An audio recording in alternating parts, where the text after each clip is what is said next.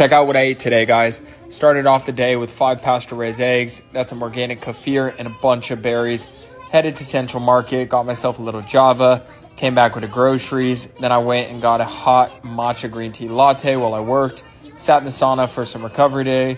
Came back home for lunch, grass fed ribeye, butternut squash, and an apple. So good. Then I had some chamomile tea while I worked a bit more. Dinner was a mango, pineapple, ground beef, and avocado.